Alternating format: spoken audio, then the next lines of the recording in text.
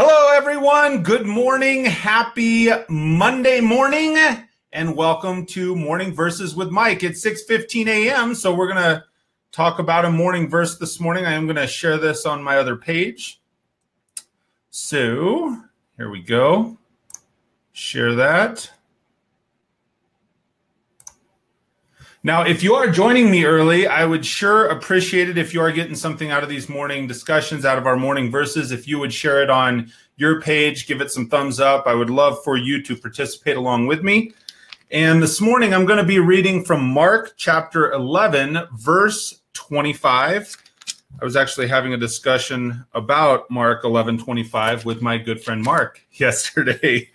and so, um, we are every morning as we kind of get going. I'm reminding everyone still because we're early on in the series, but I am reading from Every Man's Bible. It's a New Living Translation version study Bible.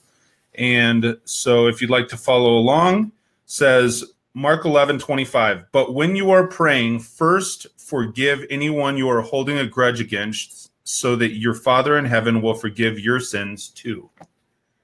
I think forgiveness is one of those things that as humans, it can be sometimes really tough for us. But this is one of those verses that reminds us always offer forgiveness first. It shows that it, a simple verse like this is, is, that Jesus did not intend for us to pray for any sort of vengeance against our enemies or uh, it, it doesn't offer any sort of validation for the grudges that we choose to carry and yeah, we choose to carry. So simply, this is one of those verses that when you're praying, make sure that you're praying all encompassing for everyone. And pray first to forgive anyone that you have that grudge or that frustration against.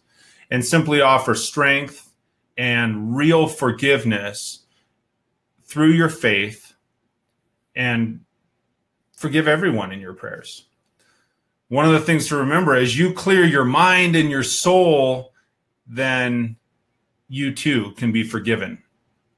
So again, this morning, that's Mark 11, 25. Oh, I, I forgot to, there we go, pop it up on the screen. So better late than never. So thanks for joining me this Monday morning. I hope you have an amazing Monday. I hope you have an amazing week this week. Please do me a favor, you know, like this on the, the hashtag MVWM page Morning Verses with Mike. Give it a thumbs up if you're gaining something out of this. Share the word, spread the word, share the video on your social media. That'd be great.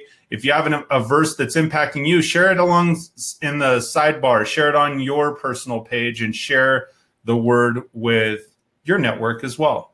So thanks for taking the time to join me today. Until we speak tomorrow morning, I hope you have an absolutely, you have an absolutely fantastic day. We'll talk to you soon, everybody.